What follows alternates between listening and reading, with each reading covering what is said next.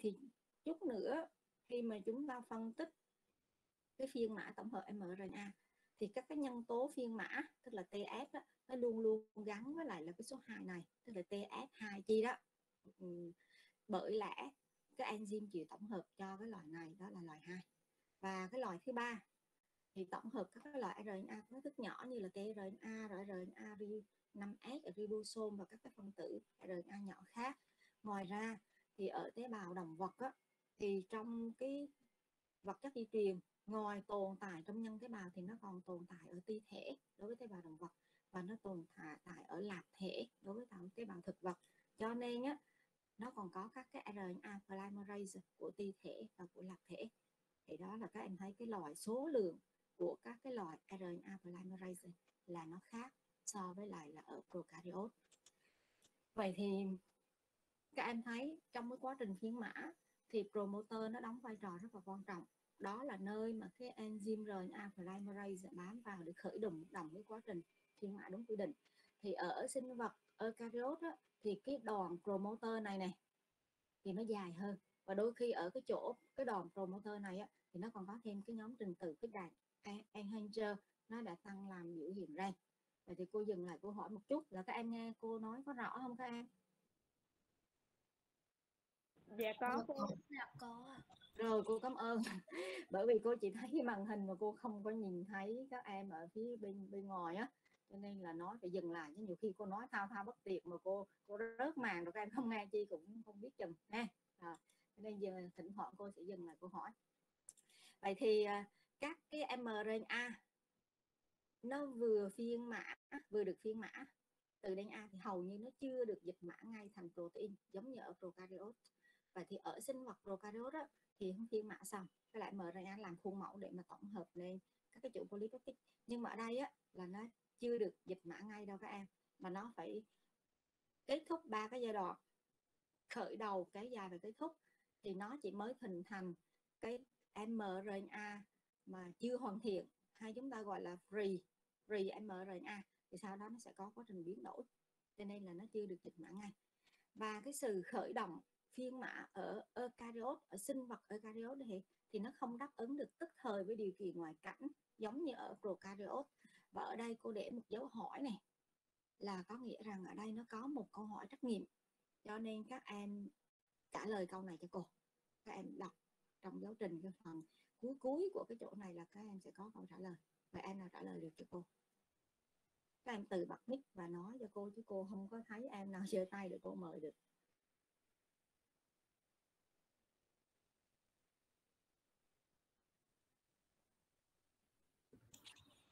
À, thưa cô là sự khởi động phiên mã ở uh, uh, tốt này không đáp ứng tức thời với điều kiện ở ngoài cảnh như à, uh, prokaryote và do cấu trúc phức à, do cấu trúc phức hợp chặt chẽ histone protein quá trình chỉ bắt đầu sản chỉ bắt đầu sau nhiều thay đổi khiến phức hợp này trở nên lỏng lẻo hơn đúng rồi do cái phức hợp bền chặt chẽ đúng chưa? Của cái protein histone.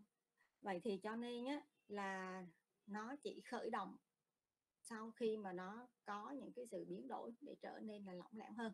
Thì cái đây là cũng một cái câu trắc nghiệm cô vừa nói xong. Vậy thì uh, em nào phát biểu á, là để cô ghi nhận cái sự phát biểu của các em vì cô có đánh giá cái cái cái cái phần mà ừ, thái độ học tập có một cái cột điểm đó mà. Cho nên em phát biểu là em nói tên giới thiệu tên nhanh mà đi thế để cô ghi nhận lại vì cô lưu trong video thì sau cô mở ra cô sẽ nếu cô không ghi kịp thì cô mở ra lại thì cô sẽ, sẽ biết. Vậy thì chúng ta đã phân tích các cái đặc điểm khác biệt rồi. Thì bây giờ chúng ta đi vào cơ chế quá trình phiên mã ở, eukaryote thì sở dĩ có những cái sự khác biệt đó là do gen ở sinh vật prokaryote à, cô xin lỗi ờ, à, gen ở tế bào uh, sinh vật eukaryote thì hắn rang phân mảnh. Và phân mảnh như thế nào các anh biết rồi cho nên quá trình này luôn luôn là phức tạp hơn và nó gồm hai quá trình chính. Đó là phiên mã tạo nên phân tử mRNA đầu tiên chúng ta gọi là tiền mRNA. Rồi biến đổi phân tử tiền mRNA thành cái phân tử mRNA trưởng thành. Vậy thì chúng ta sẽ đi vào các cái giai đoạn. Thì đầu tiên chúng ta sẽ nói tới giai đoạn khởi động. Thì các em nhớ lại là mình đã học giai đoạn mở đầu của sao mã, giai đoạn khởi động của quá trình phiên mã ở sinh vật prokaryote thì cô bài cho các em cái cách nhớ. Hôm trước cô biết cô nói chưa? Bây giờ cô nói lại nè. Ở cái giai đoạn mở đầu ở quá trình sao mã, thì sao mã đó mình chỉ học ở sinh vật prokaryote mà thôi. Còn phiên mã thì mình học vừa ở prokaryote, vừa ở eukaryote. Vậy thì nếu như mà khởi động hay là mở đầu của sao mã, thì các em cứ nhớ đầu tiên cho cô đó là có một loại protein B đặc hiệu. Nó nhận biết khởi điểm. Đây là nơi hai mạch của phân tử DNA tách nhau ra tạo thành bóng sao chép rồi sau đó các em nhớ một loạt cái trình tự logic sau là em hình dung trong đầu là cái phân tử nó nó nó xoắn trên đầu tiên nó phải tháo xoắn, xong rồi nó tách rời hai sợi, rồi tháo xoắn nhờ enzyme nào, tách rời hai sợi nhờ enzyme nào, rồi tới căng mặt rồi tổng hợp đoạn một. Đó là giai đoạn mở đầu của quá trình sao mã. Còn mở đầu của quá trình phiên mã ở prokaryote thì cô bài các em nhớ là cứ nhớ trong đầu đầu tiên là tiểu đơn vị sigma, đúng chưa? Đó, giúp enzyme gắn vào promoter được từ 35 tới 10 rồi ray mở. Vân các em nhớ theo một cái kiểu logic như vậy. Còn đối với giai đoạn khởi động ở sinh vật eukaryote thì các em sẽ nhớ hai cái ý liên quan tới hai cái nội dung để mà ra trắc nghiệm. Đó là các em nhớ cho cô là nó chịu sự kiểm tra của một cái trình tự đặc biệt TA TA box, nằm trước vị trí bắt đầu phiên mã độ 25 tới 35 nucleotide. Thì với cái này thì ví dụ như cô sẽ ra một cái câu dẫn mà cái nội dung như thế này nha. Sau rồi cô cho các em chọn đây là cái đặc điểm của giai đoạn nào sau đây? Thì em chọn cho cô đó là giai đoạn khởi động của phiên mã tạo tiền mRNA ở eukaryote. Hay là cô chỉ cần nói là giai đoạn khởi động của quá trình phiên mã ở eukaryote. Được chưa? Rồi cô sẽ cho là uh, khởi động của phiên mã uh, prokaryote rồi ờ, khởi động sau mã khởi động dịch mã vâng thì anh chọn cho đúng. Và những cái ý sau đây á, thì cô chỉ giới thiệu các em không cần học. Đây. Vậy thì cái việc khởi động này á là cũng là cái việc mà mà mà, mà phiên mã này á là do cái enzyme RNA polymerase 2 nó đảm nhận như nãy cô giới thiệu rồi. Được chưa? Và nó nhờ nhiều cái nhân tố phiên mã. Nhân tố phiên mã ở đây chúng ta biết tắt là TF. T này là viết tắt của từ transcription factor tức là nhân tố phiên mã nó có bản chất protein. Vậy thì các cái factor tại app này á thì kết hợp cùng với RNA polymerase nó tạo phức hợp nhận biết đầu tiên để phiên mã. Rồi cũng các cái factor này á nó bám vào dùng vùng DNA điều khiển nằm trước vị trí đầu tiên được phiên mã. À cái vị trí đầu tiên này á, là ở cái trình tự 25 các em và các factor làm nhiệm vụ điều khiển quá trình phiên mã. Đó thấy chưa? Nhờ nhiều nhân tố thiên mã có bản chất protein thì đây nhiệm vụ của các factor này là như vậy. Cái này cô giới thiệu các em không cần phải học thuộc lòng cái chỗ này nha. Rồi vậy thì đó là ý thứ nhất. Vậy thì cô nói lại giai đoạn khởi động ở eukaryote rồi nó chịu sự kiểm tra của một trình tự đặc biệt TA a box nằm trước vị trí thiên mã độ 25 tới 35 à, nucleotide. Đó là ý thứ nhất các em cần học. Và tiếp theo là chúng ta học cái cái hoạt động hay là tiến trình của cái giai đoạn khởi động là các em học thuộc một cách logic các cái các cái, cái hoạt động. Vậy thì à, trước khi mà đi vào phân tích cơ chế thì cô yêu cầu các em nè cô bài cho các em cách nhớ cho còn học thuộc lòng khó lắm. Thì các em nhớ này nếu như mà theo trật tự alphabet thì phải là ABCD đúng không? Nhưng bây giờ ở cái khởi động phiên mã này thì em nhớ cho cô cái chữ T, chữ D đầu tiên. Bây giờ D rồi mới tới A rồi mới tới B thì trước hết là cô phải, cô phân tích cái giai đoạn khởi động này trên cái hình vẽ. Thì sau đó thì cô sẽ chiếu cái chữ bên này cho các em kiểm tra lại và các em học. Các em thuộc bài hay là hiểu bài ngay tại sáng này luôn.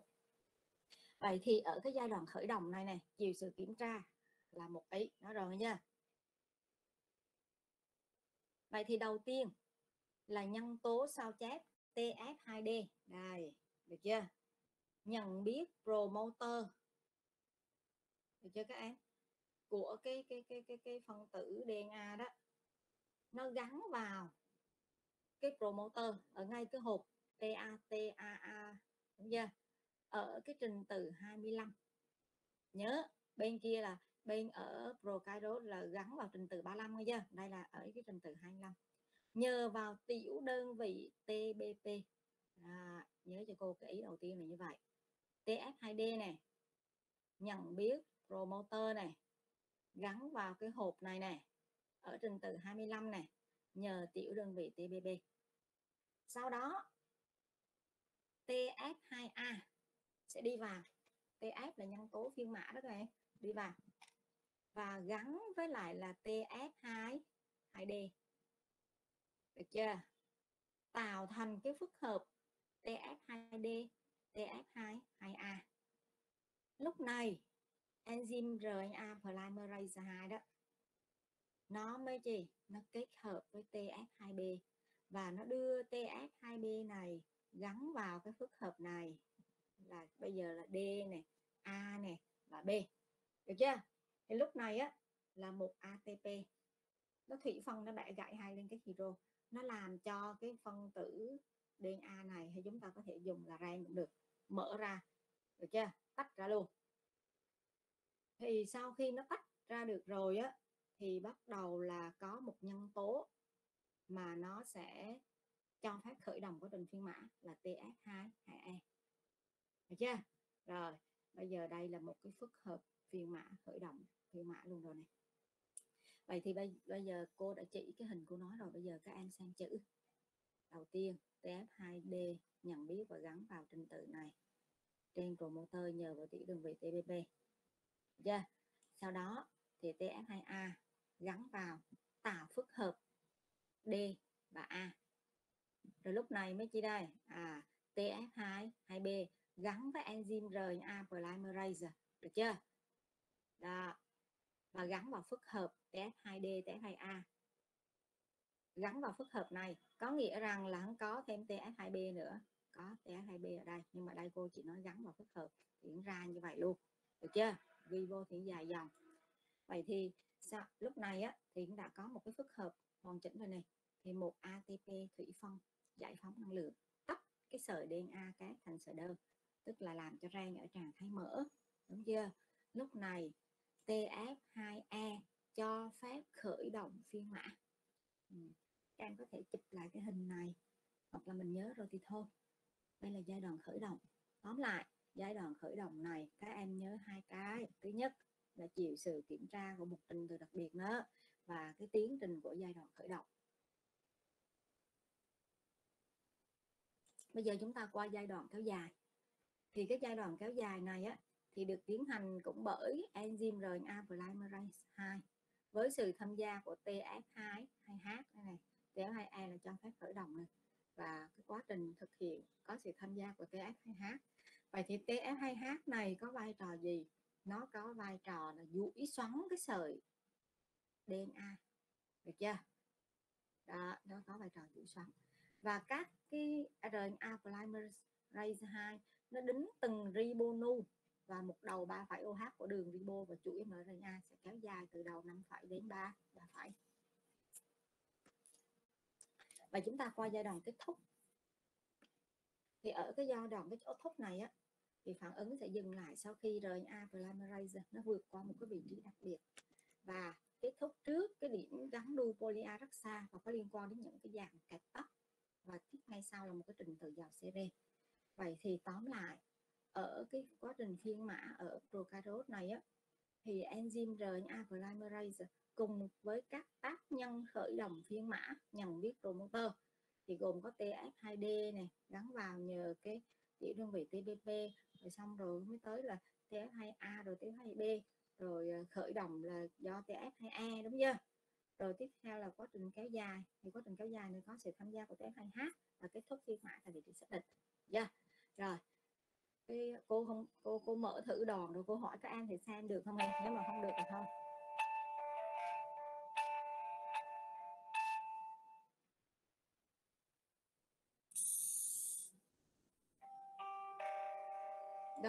cô hỏi các em này có nghe được xí âm thanh không? Dạ còn ạ à như vậy là như vậy là cái lo máy kia cái lo bị vấn đề. Chứ cái này cô vẫn để theo kiểu cũ mà vẫn nghe được này mà thôi trừ mình không còn thời gian cho nên thôi mình tiếp đi nghe bởi vì là bài như là bài hôm trước. Vậy thì các anh nhớ cho cô là quá trình trưởng thành của các tiền mRNA thì uh, như nãy là các anh thấy là các phân tử mRNA vừa mới được tổng hợp thì chưa thực hiện được chức năng của nó mà nó phải qua quá trình biến đổi, đúng chưa? Vậy thì các anh học cho cô cái cái ý thứ nhất của cái quá trình trưởng thành này là gồm những giai đoạn nào? Thì nó gồm ba giai đoạn, tam ghi là gắn mũ hình thành đuôi polia và cắt bỏ in trong và nối các đoạn e xăm lại với nhau. Đó là ba quá trình gắn mũ, hình thành đuôi poly A và cắt in trong và nối các y xong lại với nhau chưa dạ, rồi bây giờ chúng ta đi vào cái quá trình gắn mũ. Thì trong nhân á, cái quá trình gắn mũ này các em nhớ này cũng xảy ra trong nhân tế bào các em nhớ đi. Thì cái quá trình gắn mũ được thực hiện bởi ba cái loại enzyme này. Thì ba cái loại enzyme này nó có vai trò như sau. RNA triphosphate nó sẽ lòi một cái gốc phosphat khỏi đầu năm phẩy của RNA mới sinh. Rồi guanylin transferase được chưa? Nó gắn cái RMB bằng cái một cái cái cái, cái liên kết đảo ngược năm phẩy năm phẩy. Được chưa? Còn bên này các anh xem này lòi một góc phốt phát khỏi đầu 5 phẩy của mRNA mới sinh. Đây nó lòi một cái góc nó lòi một cái góc phốt phát đi. Được chưa?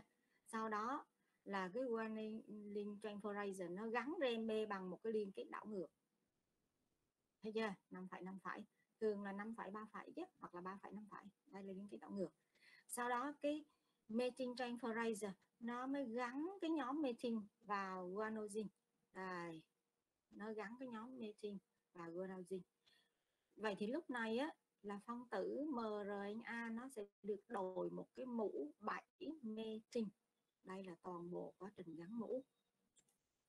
Vậy thì mũ được thực hiện bởi ba loại enzyme, cô vừa nói xong. Và trong nhân mũ sẽ gắn một cái phức hợp protein CBC thì cái này giới thiệu không cần học, nhưng mà nhớ ba loại enzyme đó là ba loại enzyme nào.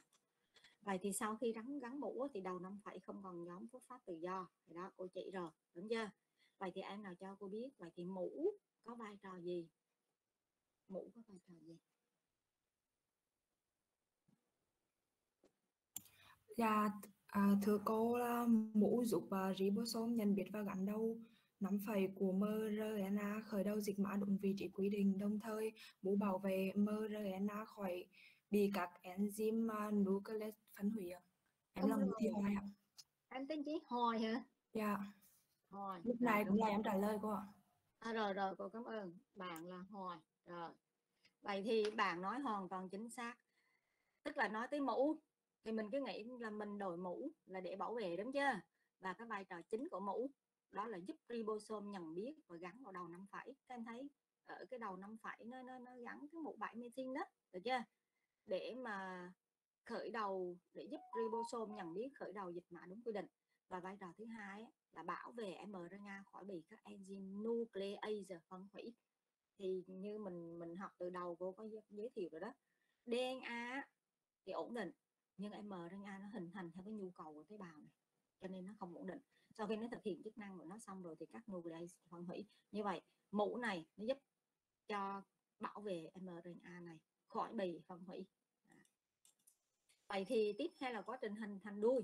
Vậy thì cái quá trình hình thành đuôi này á, thì cô chiếu ra thì nó nhiều như thế này nhưng ra em nhớ một cái số ý chính thôi. Tức là chịu trách nhiệm gắn đuôi là polya polymerase được chưa? Vậy thì á cái quá trình hành đuôi hình thành đuôi này á đó, cô nói nhanh thôi. Vậy thì các em nhớ cho cô những cái ý này là độ dài của đuôi polia thay đổi tùy theo loài và giai đoạn phát triển của tế bào. Và khi mRNA nó di chuyển từ trong nhân ra tế bào á thì cũng như trong quá trình tồn tại thì đuôi polia nó sẽ bị thoái hóa và ngắn dần. Yeah. và đuôi polia càng dài thì thời gian tồn tại của mRNA trong tế bào càng lâu. Có nghĩa rằng cái đuôi polia này nó cũng có vai trò giúp cho cái RNA mRNA ổn định này gần gần giống với mũ này. Và trong một số ít trường hợp, tức là cả những cái ý này các em đều nhớ cho cô đó nghe, còn cái đầu không cần nhớ. Thì mRNA không có đuôi polia như các mRNA phiên mã từ gen mã hóa tông, thì không có đuôi polia vậy thì em là cho cô biết đuôi có vai trò gì? Đuôi có vai trò gì?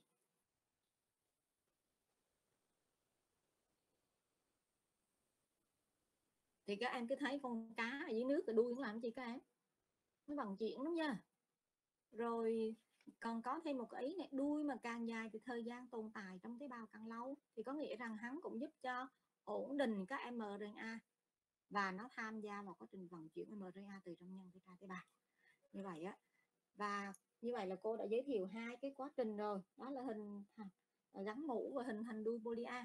Vậy thì cái tiếp theo là quá trình cắt bỏ in trong và nối các e xong lại với nhau. Bởi vì rang của sinh vật eukaryote là rang phân mảnh mà thì quá trình này nó có hai bước chính là thực hiện cái cắt ranh giới ở in trong và e xong sau đó thì nối các cái à, e xong lại và loại bỏ các à, yên in trong.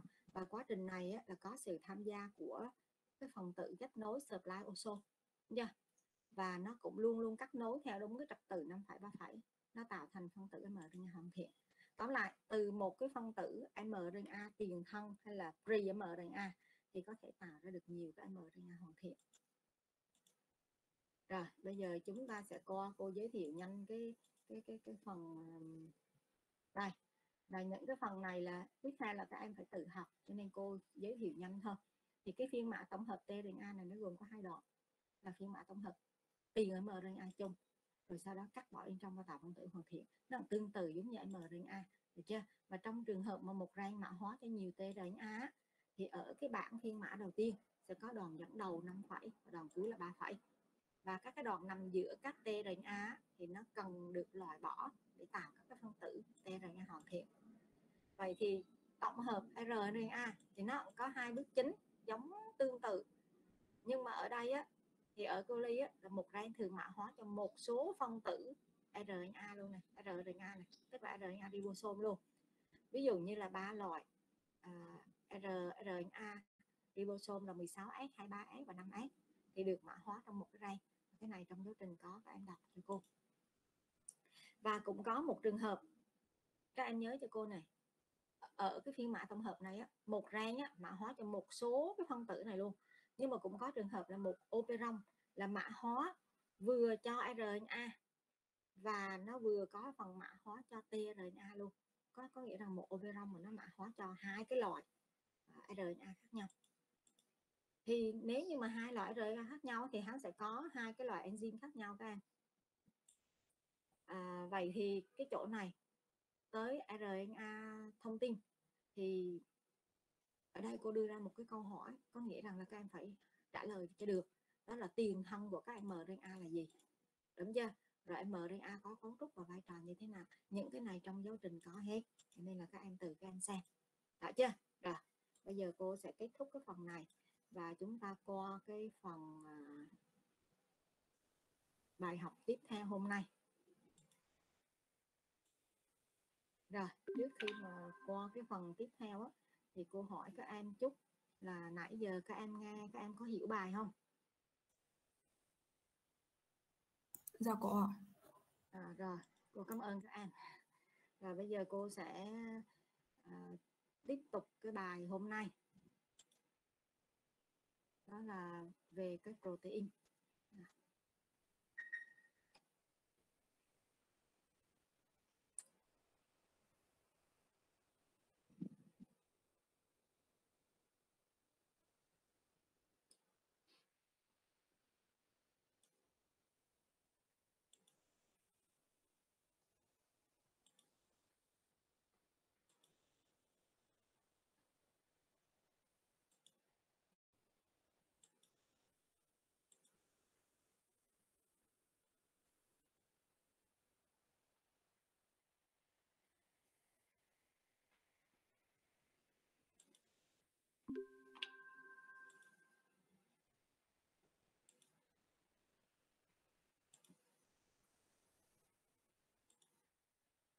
Rồi, alo, các em thấy cái màn hình cô chia sẻ chưa? Dạ rồi cô ạ. Rồi, cô cảm ơn các em. Vậy thì chúng ta đã xong cái phần à, nucleic acid, bản chất vật liệu di truyền, giống như cấu trúc, phân loại, tính chất và chức năng của các cái loại đó, tức là gồm DNA, RNA. Vậy thì chúng ta qua một cái vật chất khác mà nó có vai trò rất là quan trọng mà hôm cái bài đầu tiên là chúng ta nhắc tới nhiều, đó chính là protein mặc dù nó không phải là vật liệu di truyền nhưng protein nó là liên quan tới học thuyết trung tâm của sinh học phân tử và protein nó hầu như đảm nhận tất cả các cái vai trò khác của cái sự sống yeah. vậy thì về protein á, thì mục tiêu bài học hôm nay á, là mặc dù nó không phải là cái vật chất hay là tác nhân biến nạp nhưng mà nó lại liên quan đến cái đặc tính của cái mã di truyền và hôm nay chúng ta sẽ phân tích cho được cái cơ chế sinh tổng hợp protein, phân tích được cấu trúc và các bậc và vai trò của protein. Vậy thì gồm những cái nội dung này là những cái tiêu đề ở trong giáo trình thì cô đưa ra thôi, không có gì mới hết. Vậy thì đầu tiên á, các em sẽ nói tới cái mã di truyền. Thì à, mặc dù hôm nay thì lần đầu tiên cô đề cập với các em về cái mã di truyền, nhưng thực ra nói tới mã di truyền á, thì các em cũng đã biết hồi cấp 3 rồi. Thì bây giờ chúng ta chỉ khai triển thêm thôi. Và nói tới mã di truyền thì các em lại nghĩ ngay tới ba nucleotide tạo thành một cái cô đông rồi mã di truyền vân vân. Được chưa? Vậy thì chúng ta cũng đi vào cái cái bằng chứng di truyền học về mã bộ ba. Thì nói về cái cái lược sử nghiên cứu à, của một số nhà khoa học. Vậy thì vào năm 1961 á, thì ông Brenner Francis Crick tức là cái ông mà mà mà mà cùng với Watson và Crick đưa ra cái mô hình xoắn kép DNA này các em và Bannick khi mà phân tích chi tiết nhiều thể đột biến của pha GT4 ấy, thì ba nhà khoa học này đã xác định được rằng mã di truyền là mã bộ ba tức là triplet code tức là mình hay dùng từ code đó này và cái đơn vị mã tức là coding unit nó gồm 3 nucleotide xác định một amino acid hay chúng ta có thể gọi là acid amin thì được gọi là cô đông. Vậy thì um, việc tiếp theo đây là cái bằng chứng di truyền học về não và việc tiếp theo là người ta giải mã di truyền.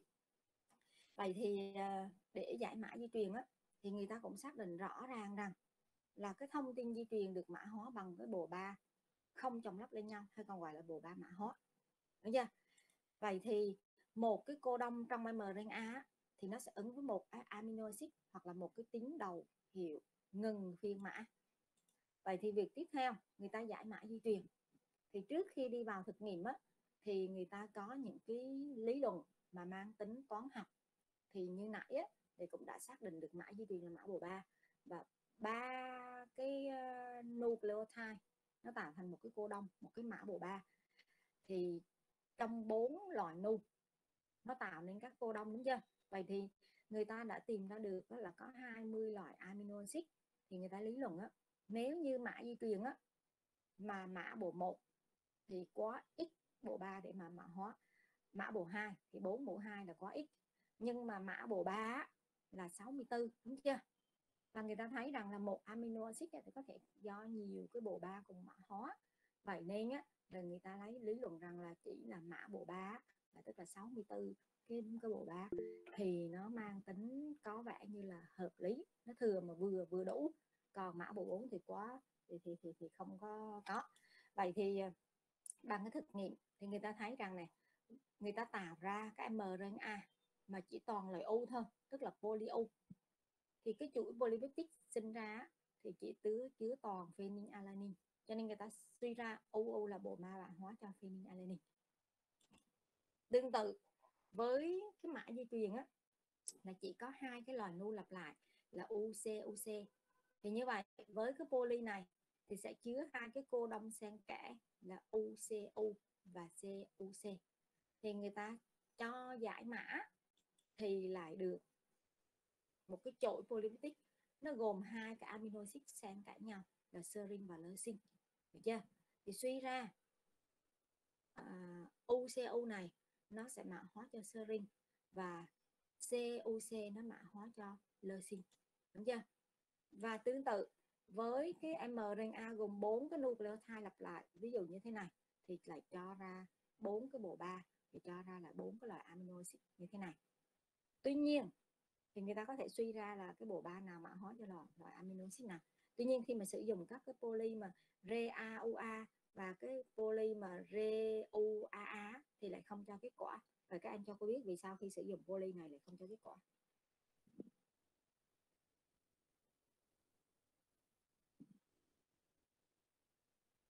Vì sao các anh? Ai mà trả lời được?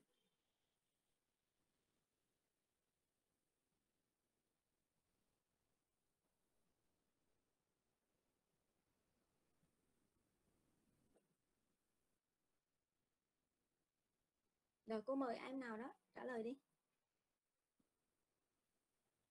thưa cô là do đó là tín hiệu kết thúc. Đúng rồi nó gặp cái bộ ba kết thúc đúng chưa? Cho nên á là nó không cho kết quả. Và ba bộ ba kết thúc đó là các em biết rồi đúng chưa? Vậy thì đây là cái mã di truyền cho các cô đông trên mRNA theo chiều năm phải ba phải thì các anh thấy này hầu như á, là một cái amino acid á, là nó có nhiều hơn hai bộ ba cùng mã hóa. Rồi có cái ví dụ lơ sinh nó có tới tới 6 bộ ba này. Các anh thấy chưa? Đó, thì trong này á, chỉ có hai loại mà chỉ có một bộ ba mã hóa. Đó là methionine và tryptophan. Đây tryptophan thì chỉ có một bộ ba mã hóa. Còn hầu như là có hai bộ ba mã hóa trở lên. Vậy thì các anh thấy này, các cái bồ ba mà cùng mã hóa cho một amino acid thì nó có đặc điểm gì các em các em nào nhìn vào và trả lời cho cô nó có đặc điểm gì?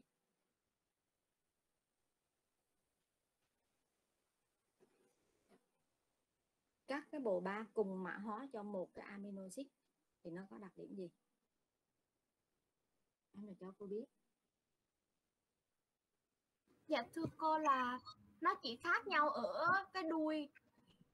đúng Cái- rồi ở cái 3 giờ cuối cùng đúng chưa Dạ. và nó giống nhau ở hai cái ba giờ đầu tiên. Thì điều này nó thể hiện được cái tính thoái hóa của mã di truyền. Được chưa? Rồi. Vậy thì bây giờ chúng ta nghiên cứu các cái đặc tính của mã di truyền. Vậy thì các cái đặc tính của mã di truyền này thì rất là đơn giản.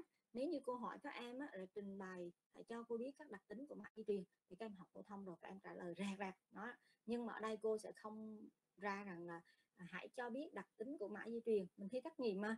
Mà mình sẽ học theo cái kiểu hiểu và mình phân tích. Cái đặc tính đó thì mình giải thích như thế nào? Thì đó chính là cái đặc tính của từng cái mã di truyền. Như vậy, thứ nhất, chúng ta nói mã di truyền là mã bộ ba. Thì cái này chúng ta biết rồi.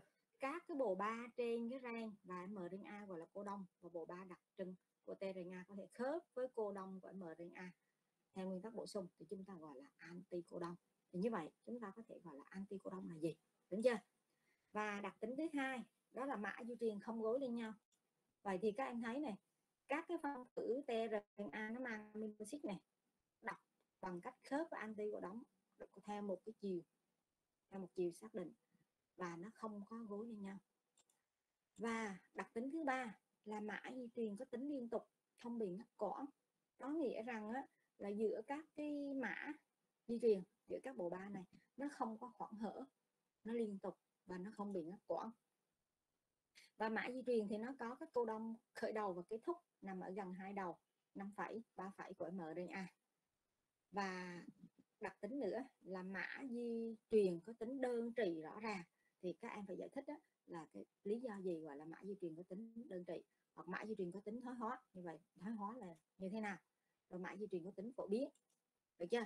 Vậy thì à, ở đây cô dừng lại, cô giả sử như cô nói như thế này, là cho dù là sinh vật kém tiến hóa hay là tiến hóa, thì mã di truyền đều được cấu tạo bởi các loại nucleotide, được hình thành nên từ bốn loại nucleotide. Được chưa? Như vậy, điều này nó chứng tỏ đó là gì? Mã di truyền có tính phổ phổ biến. Được chưa? Hay là cô kêu là cho dù ong kiến hay là người động vật có vú thì nó đều dùng chung cái bản mã di truyền. Thì điều này chứng tỏ là mã di truyền có tính phổ biến. Hoặc là ví dụ như cô có thể nói như thế này. Là mã di truyền là mã bồ ba. Được chưa? Thì có 64 bồ ba. Nhưng trong đó chỉ có 61 bộ ba có nghĩa. Thì điều này chứng tỏ chứng tỏ gì các em? À, mã di truyền có tính thoái thoái hóa đó thì đó là cái cách mà các em học hoặc là tính đơn trị thì như thế nào các em học. Cô có thể đưa ra cái phân tích rồi các anh tìm ra cái đặc tính, hoặc là cô đưa ra cái đặc tính. Thì đặc tính này thể hiện qua cái phân tích ABCD ở dưới.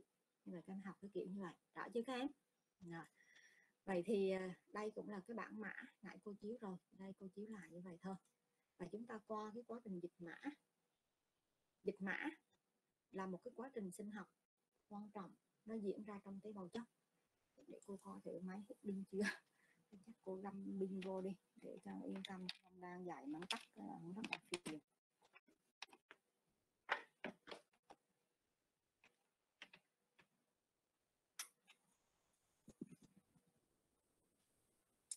Vậy thì ờ, dịch mã là gì? Thì các em thừa biết dịch mã là sinh tổng hợp protein, đúng chưa? Đây này hai là sinh tổng hợp protein rồi thì đây là một cái quá trình sinh học quan trọng mà diễn ra trong tế bào chất vậy thì á nó phụ thuộc vào nhiều yếu tố mà quan trọng nhất là mRNA, tRNA và ribosome. Vậy em nào cho cô biết vì mRNA nó quan trọng như thế nào, tRNA nó quan trọng như thế nào, ribosome nó quan trọng như thế nào. Hay nói nôm na đó là vai trò của ba cái yếu tố này trong quá trình dịch mã là như thế nào. Em nào cho cô biết. Thúc cô, rồi, cô mời em trả lời cho cô. Đi. cô quan trọng nhất là mRNA, các tế ARN và ribosome mRNA mang thông tin quy định trình tự kết hợp các amino acid và chuỗi polypeptide và mà việc dịch mã mRNA à, mRNA được thực hiện bởi các à, amino acid tế ARN Rồi cảm Ừm. ơn. Em nào có ý kiến khác rõ hơn?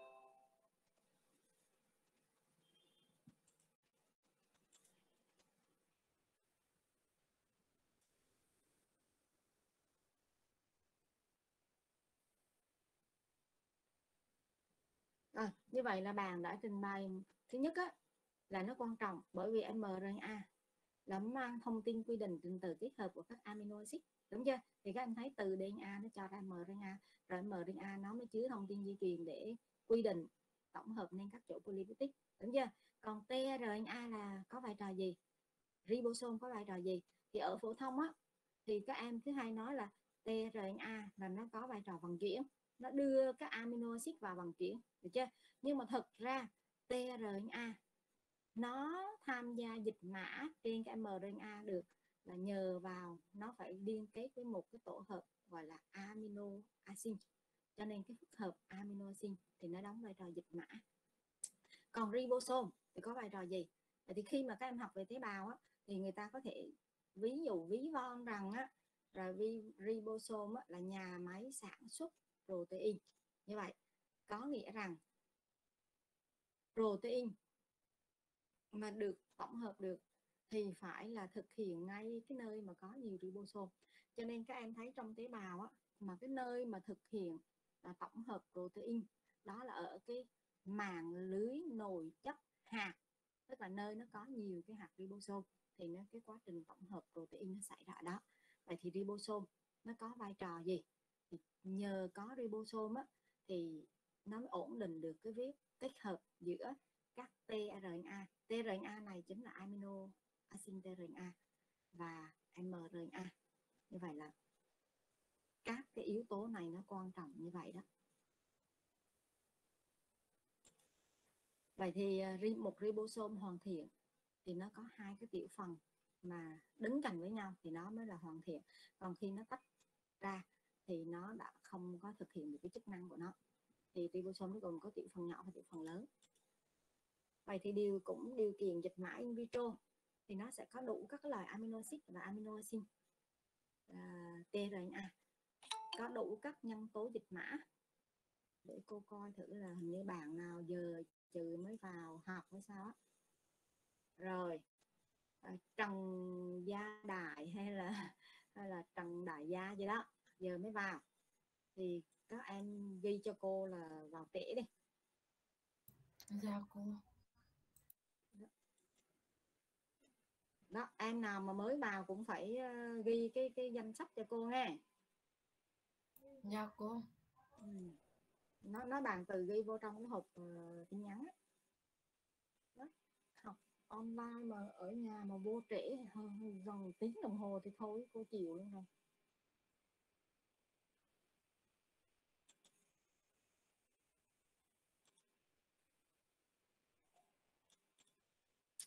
Vậy thì cái sự dịch mã này nó được thực hiện theo từng cái đơn vị phiên mã, đó là ORF. ORF này hôm trước khi mà chúng ta học phiên mã là cái điểm kết thúc, Ở trong cái khi mà cô phân tích là cô có nói tới ORF. ORF này là viết tắt của từ chi các em biết không? Open Reading Frame có có nghĩa rằng là khung này, chữ frame này, reading này, đọc này và open là mở đơn vị này là khung đọc mở và cái sự dịch mã cũng luôn theo chiều 5 phẩy 3 phẩy của mRNA. Và cái đầu 5 phẩy này tương ứng với đầu amin và cái đầu 3 phẩy thì tương ứng với đầu carnosin của polypeptide. Vậy thì chúng ta qua cái cơ chế của quá trình dịch mã. Thì trước khi mà các cái amino acid nó gắn vào để nó thả tạo thành ừ, nó gắn với nhau bởi liên kết peptide để nó thả tạo thành cái liên, cái chuỗi polypeptide thì nó phải có quá trình hoạt hóa amino acid vậy thì cái quá trình hoạt hóa này cũng xảy ra trong bào tư là trong tế bào chất đó. Vậy thì mỗi amino acid được đính vào tRNA thích hợp nhờ vào cái enzyme aminosin tRNA synthase đặc thù. Vậy thì nó sẽ đến này amino acid này nhờ vào năng lượng hoạt hóa ATP này thì nó sẽ được cung cấp năng lượng. Sau đó amino acid này, khi mà được cung cấp năng lượng này, thì dưới tác dụng của enzyme và sự xuất hiện của magie được chưa? Đó, thì nó sẽ hình thành phức hợp enzyme amino acid AMP như vậy từ ATP mà nó thành AMP là nó bẻ gãy cái hai liên kết trô được ha adenosine triphosphate. Và nếu mà bẻ gãy thì sẽ là adenosine diphosphate là chữ D, đúng không? Hay là adenosine monophosphate. Vậy thì à, cái phản ứng nó xảy ra như vậy. Sau đó cũng dưới tác dụng của enzyme đó tức là cái synthase đặc thù, tức là loại amino acid nào thì sẽ có cái enzyme synthase đặc thù đối với amino acid đó. Cho nên các em có thể suy ra rằng là 20 loại amino acid thì sẽ có 20 loại enzyme đặc thù này. Được chưa? Và dưới tác dụng của enzyme đó, synthase đặc thù này, thì phức hợp này sẽ kết hợp với TRA thích hợp bằng cái liên kết đồng hóa trị để tạo ra amino acid tRNA vậy thì amino acid tRNA này mới là cái phức hợp mà tham gia dịch mã. Đúng chưa? Tham gia vận chuyển. Còn ở phổ thông thì mình chỉ nói là tRNA mang à, các amino acid vào cái cái dài cái dài thôi. Rồi bởi liên kết mất tích mình chỉ học đơn giản như vậy thôi. Bây giờ chúng ta đi cơ chế của nó. Đó là phức hợp amino acid tRNA vậy thì các em cho có biết là vì sao phải có cái quá trình hoạt hóa amino acid này? Đây này cho cô biết là vì sao? Phải có quá trình hoạt hóa amino acid.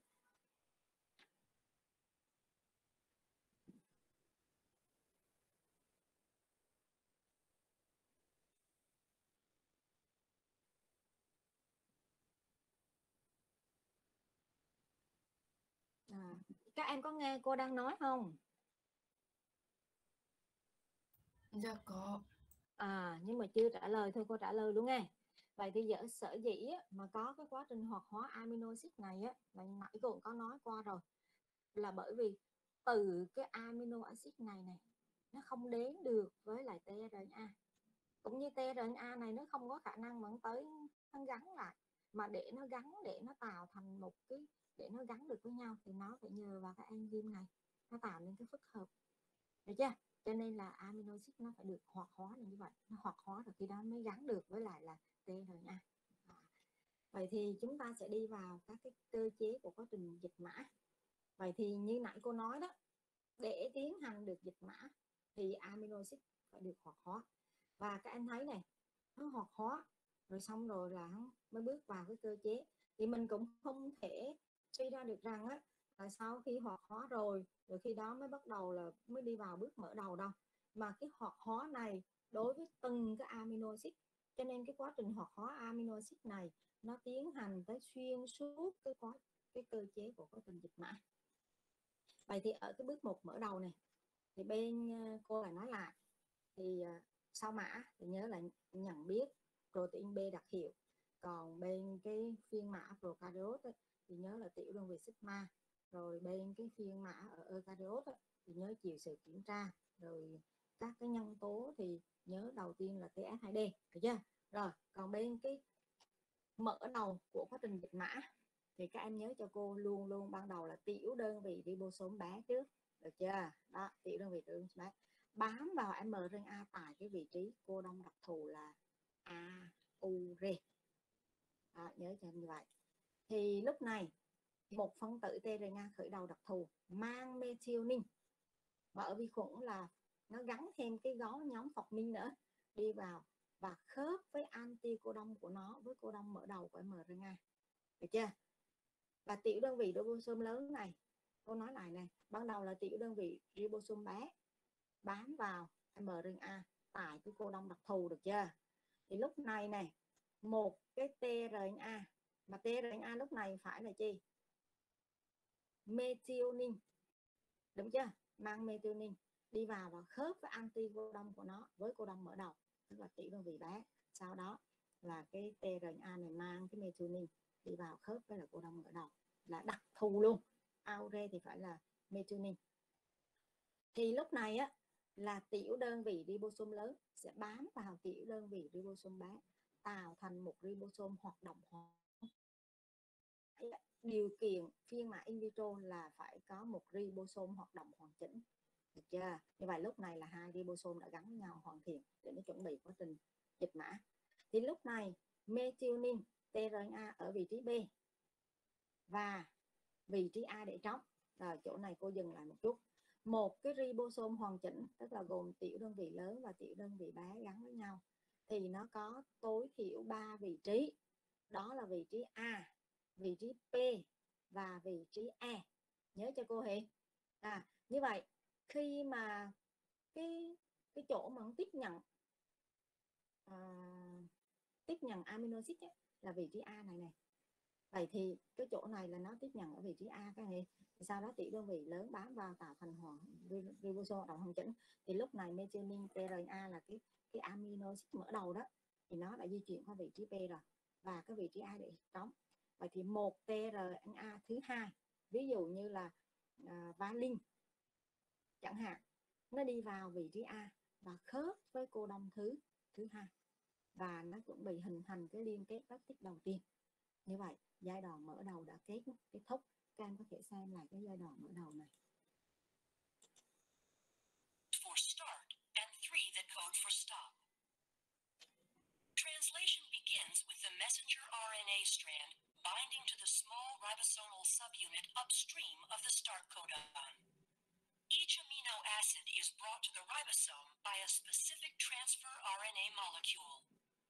The type of amino acid is determined by the anticodon sequence of the transfer RNA.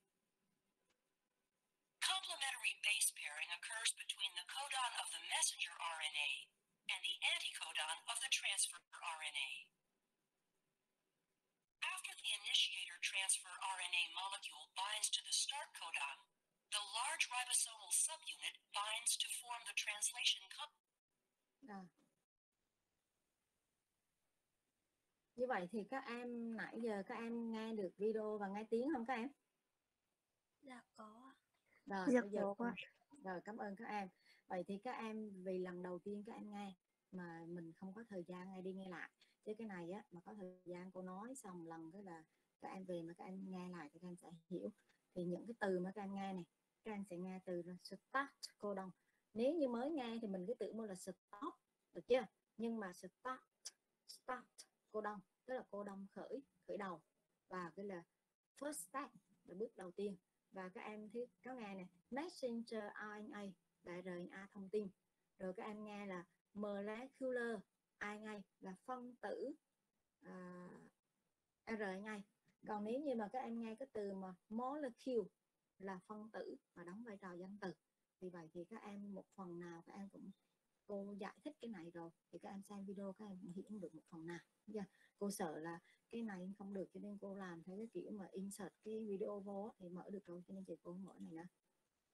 Vậy thì cô nói lại, cái giai đoạn mở đầu á, là đầu tiên thì bắt buộc phải là ở cái vị trí đặc thù. Và cái amino acid đầu tiên phải là gì phải là methionine. Và ở cái sinh vật prokaryote tức là ở vi khuẩn á, thì thường nó gắn thêm với nhóm phọc minh. Còn ở sinh vật eukaryote thì không cần cái nhóm minh này. Vậy thì ở cái giai đoạn khởi sự tóm lại này gồm có các sự kiện lắp ghép có trật tự của mRNA các tiểu phần ribosome. Rồi cô không lặp lại làm gì nữa. Và tRNA methionine tại cô đông khởi sự trước khi hình thành một cái liên kết peptide và một cái ribosome hoàn thiện có ba vị trí. Và thì các học cho cô cái vai trò của từng vị trí này thì trong giáo trình cũng có. Còn nếu như các em ưa thì các em có thể chụp lại để hồ các em kiểm tra trong giáo trình mình học. Là A thì nơi tiếp nhận rồi P là chi A là chi. Đó là vai trò các vị trí.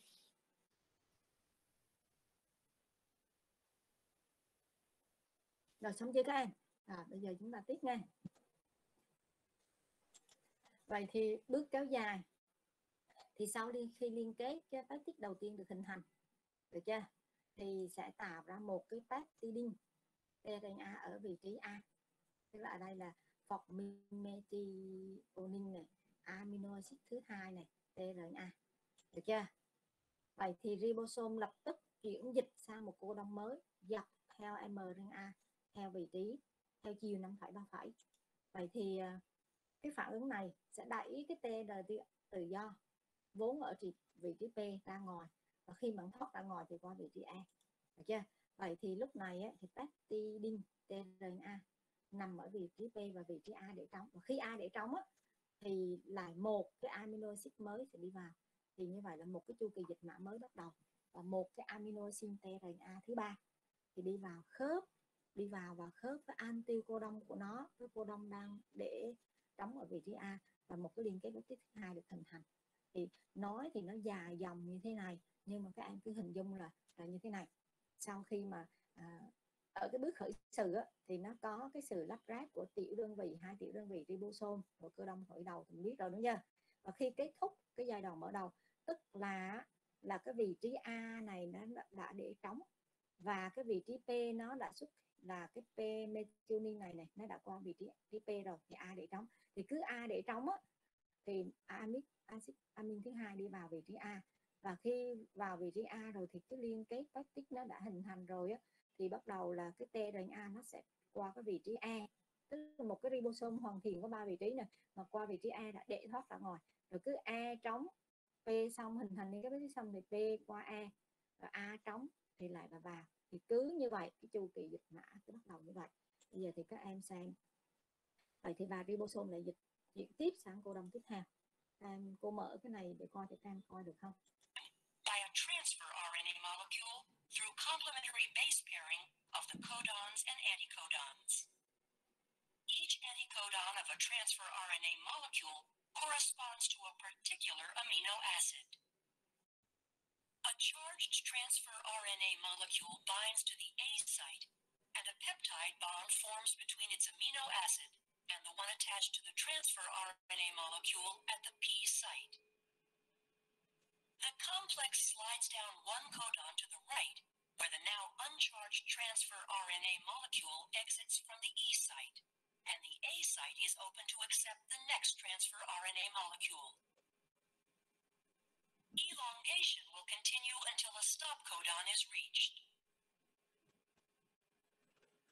Rồi, như vậy là các em thấy rất là rõ ràng đúng không? Trong quá trình này thực chất là sự đi vào ở vị trí A, sau đó nó sẽ hình thành liên kết peptide với một cái P, sau đó xong rồi thì nó sẽ di chuyển qua P, rồi xong rồi nó đi ra ngoài. Và cứ A qua P, A để trống thì cái amino acid tiếp theo sẽ vào vị trí A, được chưa? Và hình thành liên kết peptide xong rồi thì cái này nó sẽ ra vị trí A nó ra ngoài và cái này sẽ qua B tiếp tục như vậy như vậy thì và các anh nhớ cho cô, ở cái ờ, cái giai đoạn hoạt hóa axit amin nhất thì năng lượng được cung cấp từ ATP nhưng mà ở cái giai đoạn kéo dài mà đưa cái amino acid vào thì cái năng lượng là năng lượng RTP các em nhớ như vậy thì như vậy bước kéo dài, elongation là elongation ờ, là các cái nhân tố kéo dài dịch mã đó, thì giúp đưa tRNA amino acid vào vị trí A và cảm ứng xúc tác hình thành liên kết peptide được chưa? Xong rồi thì nó liên kết peptide với P. Sau đó rồi P nó mới qua E và ra ngoài. Và A để trống thì cứ vào tuần tự tiếp theo là như vậy. Vậy thì ở cái giai đoạn kéo dài này á là ribosome dịch chuyển một cô đông theo chiều 5,3 với mRNA. Và cái vị trí của các tRNA trên ribosome thay đổi. Đúng chưa? Và năng lượng cung cấp từ sự thủy phân của RTP đó các anh biết cái đó rồi. Đây. Tức là nó sẽ vào nè. Thấy chưa? Thấy chưa? Nó vào. Vị trí A qua qua P xong rồi qua E rồi nó thoát ra ngoài. Và cứ theo chiều 5,3 phải như thế này đây thấy chưa? Như vậy cô đông 1 2 3 này nó đã xong rồi này thì tới là 4 này nó tương ứng với các amino acid nó, nó, nó hình thành. Và những cái amino acid này nó liên kết với nhau bởi liên kết peptide vậy thì chúng ta qua cái bước kết thúc. Thì bước kết thúc này các em phải lấy máy ảnh chụp lại nè. Đây. Thì cái vị trí A của ribosome nó gặp cô đông kết thúc. Thì cái nhân tố kết thúc dịch mã tức là releasing factor cùng với transferase nó thủy phân liên kết eta và peptide liên kết peptide này và tRNA và chính cái phản ứng này nó sẽ cắt rời cái chuỗi polypeptide và lúc này hai tiểu phần ribosome sẽ tách ly và rời khỏi khuôn. Và như vậy thì quá trình này là quá trình kết thúc. Hay các em chỉ nhớ nôm na rằng nó, khi nó gặp cái điểm kết thúc, được chưa? Các cái cô đồng kết thúc. Và cô cũng coi chỉ lại ba cái vị trí trên cái ribosome, vị trí A, vị trí T và vị trí E giờ cứ đi vào qua A những dịch chuyển qua P chỗ này trống thì cái à, tRNA nó mang cái amino acid tiếp theo vào đây. Rồi bên này nó xong rồi nó vượt qua E rồi nó ra ngoài nó tương tự như vậy. Thì cái bước kết thúc như thế này. A release factor binds to the A site at a stop codon, and the polypeptide is released from the transfer RNA in the P site. Entire complex dissociates and can reassemble to begin the process again at initiation. The purpose of trans như vậy các anh dịch chỗ đây này. Mục đích của dịch mã là sản xuất ra các cái chuỗi polypeptide nhanh chóng và chính xác. Được chưa? À, và các anh thấy cái A sai, sai là ở vị trí đó. A sai, P sai, E sai. biết rồi đúng chưa? Rồi như vậy thì sau quá trình này thì phân tử protein nó cũng chưa hoạt động được ngay mà nó phải trải qua cái quá trình hoàn thiện phân tử protein. Thì ờ, cái quá trình hoàn thiện này thì ở sinh vật prokaryote đó là vì cái methionine á, nó gắn với lại là nhóm phọc minh được chưa? Cho nên nó sẽ có cái phản ứng mà loại bỏ phọc minh khỏi cái chuỗi polypeptide nhờ peptidase và sau khi mà loại bỏ amino mở đầu rồi thì các cái chuỗi polylipid này nó sẽ trở thành nó sẽ có những cái biến đổi để trở thành bậc 1, bậc 2, bậc 3 tùy theo nhu cầu của tế bào. Còn nếu như á, mà ở sinh vật eukaryote á, thì không có cái phản ứng loại bỏ này. Và protein hoàn thiện sẽ được vận chuyển tới nơi sử dụng nhờ có hoạt động của một cái đoạn ngắn peptide. Thì nãy các em thấy á, là polypeptide proline peptide được chưa peptide với cô xin lỗi thì chừng 15 tới 20 amino acid ở cái đầu amin của chỗ polypeptide và đó là trình tự tín hiệu. Và khi mà protein đã đến được cái nơi sử dụng thì cái đoạn trình tự tín hiệu vận chuyển à, protein đến đích này sẽ bị cắt bỏ. Rồi các em có thể xem lại toàn bộ cái tiến trình này. Rồi cô hỏi lại này các em có nghe tiếng video chưa? Dạ Có. Rồi. rồi cảm ơn rồi các em nghe nghe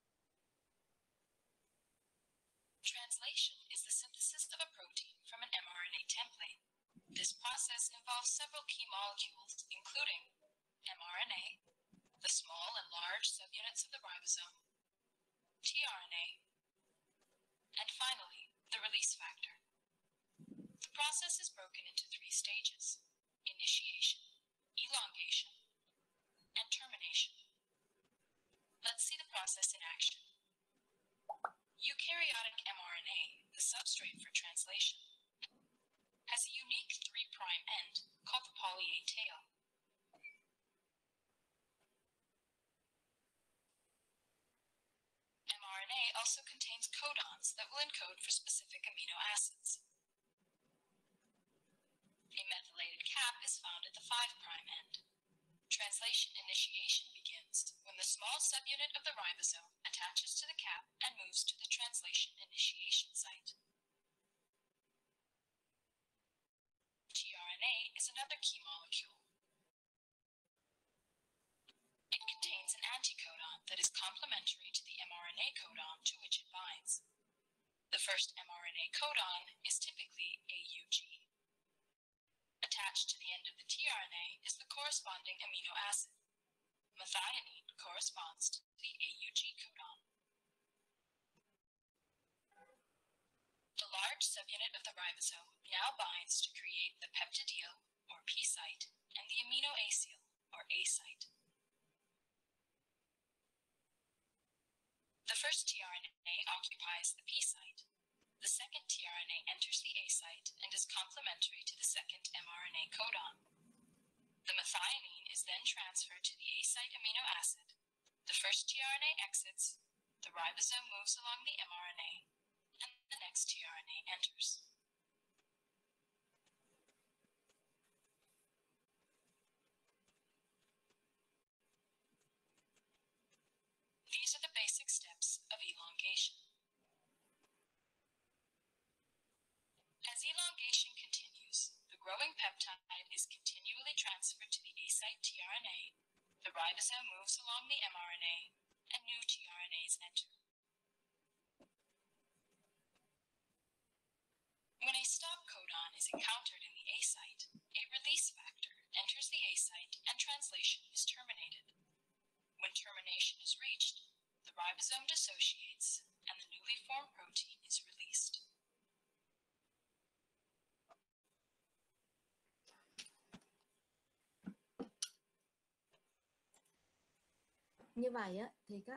Có một bạn nào đó là mới vào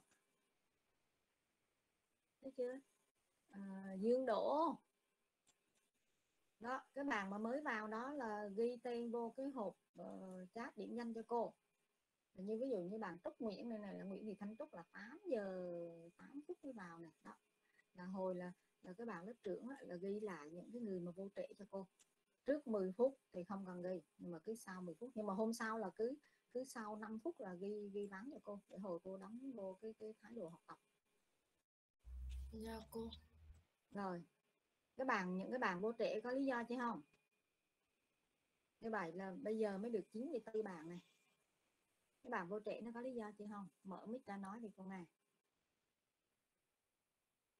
không có lý do đúng không? Rồi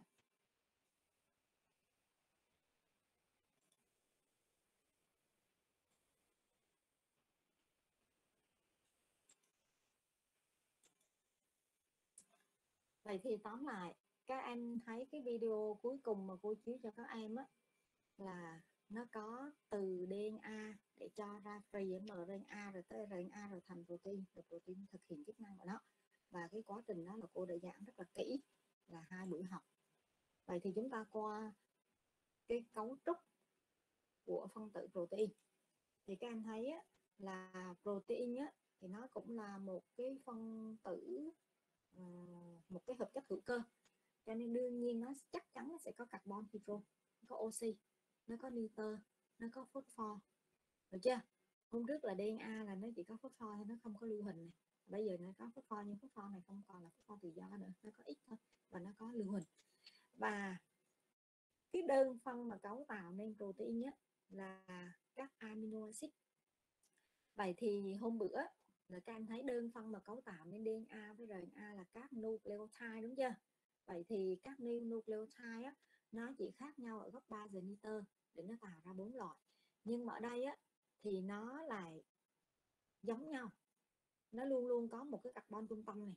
Nó có gốc carboxy nè có hydro và nó mang một cái amino acid và cái sự khác nhau của gốc BR này nó tạo ra cái phân loại nó tạo ra cái tính chất để tạo nên bốn cái nhóm amino acid khác nhau.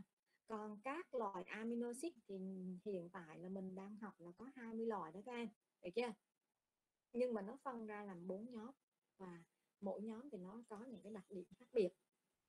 Thì đây là cái sơ đồ cấu trúc của 20 loại amino acid thì cái này mình thực ra các em không học thôi, chứ các em học là vẫn thuộc đó các em.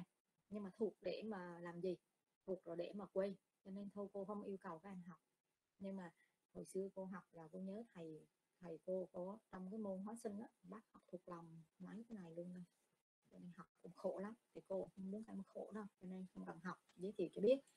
Vậy thì à, như nãy cô nói là sự đa dạng của gốc bên R nó tạo ra bốn cái nhóm amino acid thì gồm có cái nhóm không phân cực. Được chưa? Cái đặc điểm của hắn á, là không phân cực thì tên của các cái loại amino acid thuộc nhóm này là những amino acid này, được chưa? Và đây là cái ví dụ, cái cấu tạo của leucine, của gốc bên R là như vậy. Rồi nhóm phân cực, được chưa? Rồi nhóm mang tính axit và nhóm mang tính ba ba giờ. Thì ở đây thì gồm có nhóm trung tính phân cực này, rồi nhóm axit này, rồi nhóm kim này.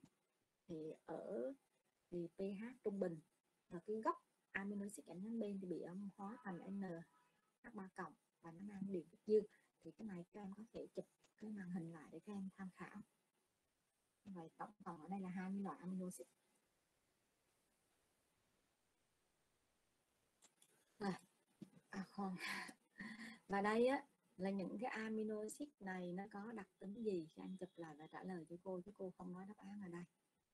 Đây là những amino acid mà nó có đặc tính gì? Đối với cơ thể người và động vật. Rồi. Và chúng ta coi cái cấu trúc của phân tử protein. Thì thì uh, như nãy cô nói đó thì phân tử protein nhé nó có đơn phân là các amino acid mà amino acid thì nó có tới 20 loại đúng chưa? Vậy thì các amino acid nó sẽ liên kết với nhau bởi liên kết peptide nó tạo thành mạch polypeptide.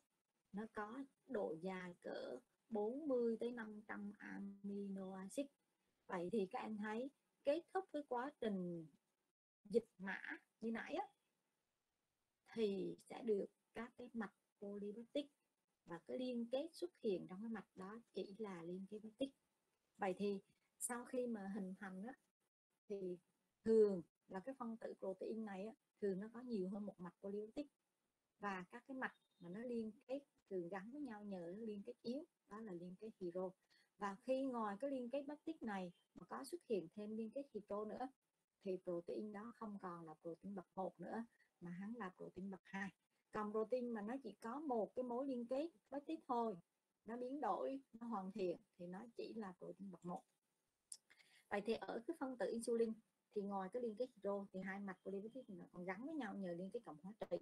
Đó là liên kết uh, giữa các cái nguyên tử uh, lưu huỳnh của hai cái amino acid thì các liên kết đi xuyên phua rồi nối vòng hóa trị các mặt như vậy. Rồi à, như vậy, thì cái phân tử insulin này ngoài cái liên kết hydro nó còn có thêm những liên kết khác nữa.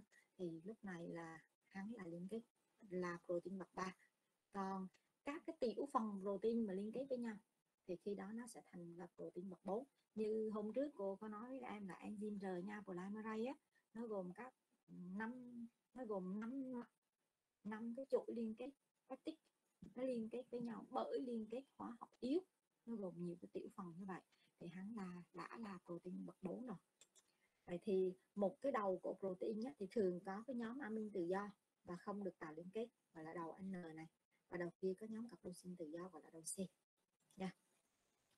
Vậy thì đây là cấu trúc các bậc của phân tử protein nha các em. 1 2 3 4 như vậy thì cô đã nói sơ cho các em các cái bậc rồi. Nếu mà bậc 1 thì cô nói cho các em là dựa vào cái cơ sở là các cái liên kết hóa học đến giờ thì chỉ có liên kết peptide và nó có hai đầu này đầu amin này và đầu carboxin thấy chưa? Cái phân tử protein nào cũng phải như vậy. Và cấu trúc bậc hai thì có hai dạng nếp gấp beta và chữ xoắn alpha. Và nó ngoài cái liên kết peptide giữa các cái amino acid này thì nó còn xuất hiện thêm những cái hydro những liên kết hai mặt với nhau.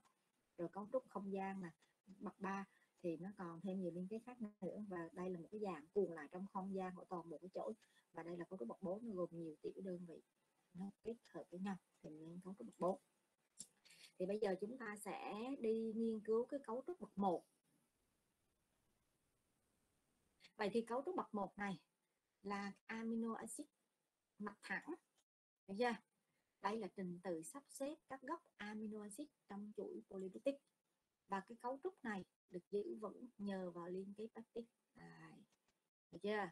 Như vậy các em cứ nhớ nôm na là từ cấu trúc bậc 1 là amino acid 1 amino acid 2 amino acid 3 nó liên kết với nhau và chỉ có liên kết peptide giữa các nó không? Và hắn là một cái mặt gọi là một cái, cái amino acid mặt thẳng không? Vậy thì về tổng quát thì tất cả các cái chuỗi polypeptide nó được xây dựng một cách có hệ thống từ các cái nhóm nguyên tử CO, CH và NH. Vậy các em thấy CO này thì hắn sẽ còn CO2 CO3 đúng chưa? CH cũng đó CH2 CH3 CH4 đại N cũng vậy. NH2 NH3 vâng vậy thì đây á Ôi, xin lỗi. Đây là cơ sở để hình thành nên cấu trúc các bậc.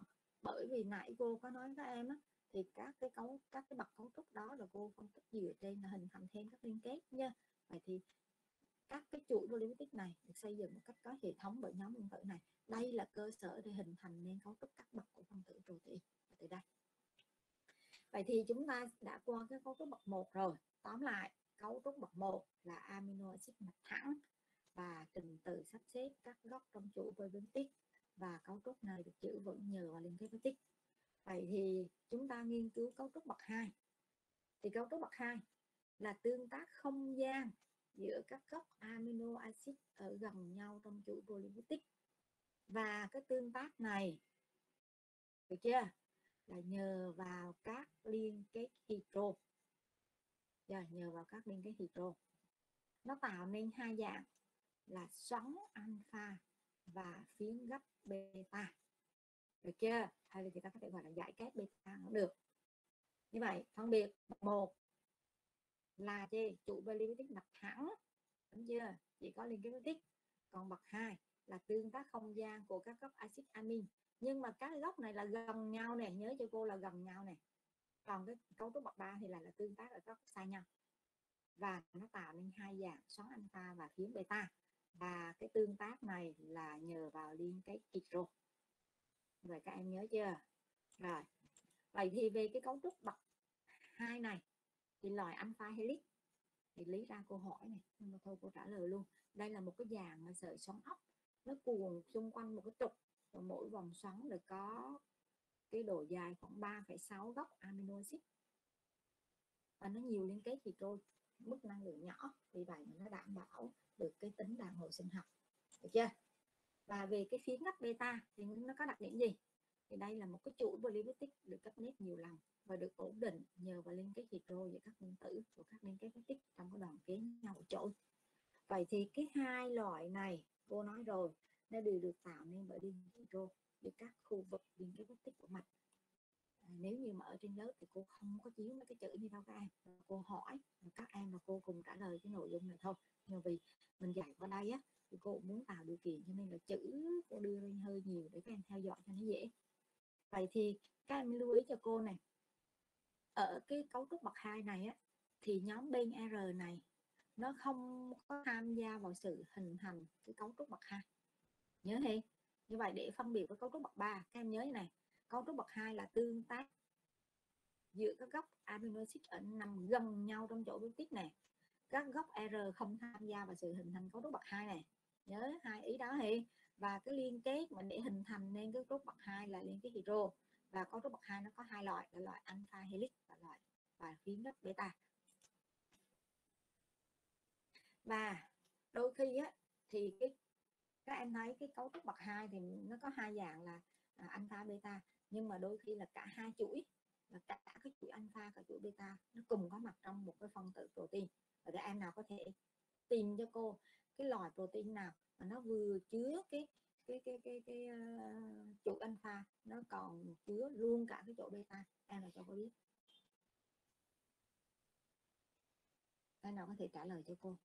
Là loại protein nào hay là phân tử protein nào nó có cả hai cái loại chỗ luôn alpha beta luôn? Đố các em.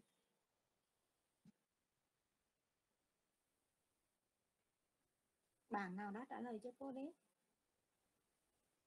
Mình học rồi, cái này quen đó phân tử nào các em?